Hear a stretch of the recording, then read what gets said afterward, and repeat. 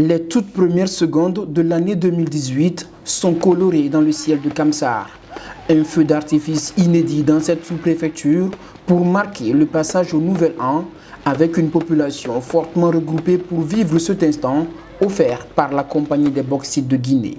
Regardez la joie qu'il y a sur notre terrain aujourd'hui, notre stade, notre gazon, très joli, magnifique. Regarde les gens, tout le monde est sorti pour venir voir magnifique feu qui joue avec nous ici aujourd'hui, ce soir-là. Vraiment, vraiment, je suis très, très contente.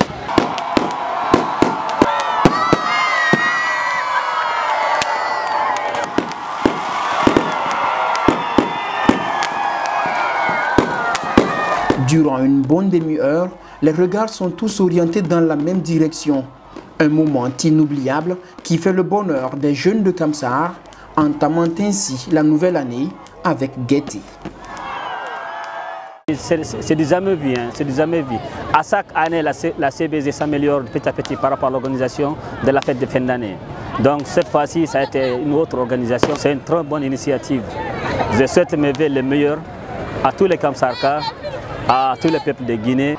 2018 démarre donc sous fond de communion renforcée entre la population et la compagnie des bauxites de Guinée qui souhaite à sa façon bonne et heureuse année aux habitants de la localité, formulant au passage ses voeux de bonne entente. C'est une occasion aussi pour nous de montrer que la population de Kamsar et la CBG, nous nous faisons qu'on nous devons nous donner la main, comme je le disais toujours, afin de travailler dans la quiétude parce que le désordre, les soulèvements populaires ne profitent à personne, ni aux populations qui peuvent parfois avoir des demandes légitimes, ni à la CBG.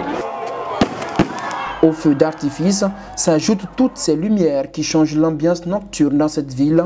Une ville qui a fait peau neuve pour accueillir une nouvelle année, durant laquelle la CBJ va atteindre un nouveau stade dans son évolution, avec notamment l'achèvement de la première phase d'extension du projet ce qui devrait porter la production annuelle de bauxite à 18,5 millions de tonnes contre 13,5 millions actuellement.